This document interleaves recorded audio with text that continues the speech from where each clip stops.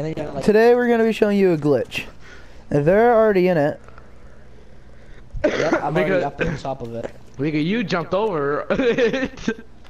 Hey, you see me? You see me? I'm up here. Yeah, let's go. alright, and Flash. pretty much you do the glitch, you see how there's hey, like Rodney, what's up? you can see through the floor.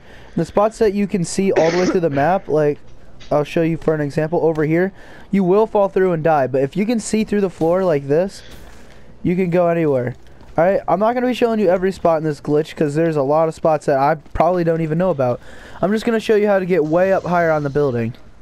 Alright, you can come over Oh, here, there you, there you guys went. I couldn't find you guys. jump up here, and then after you jump up here, you go like, now you're way up high. Oh, I fell.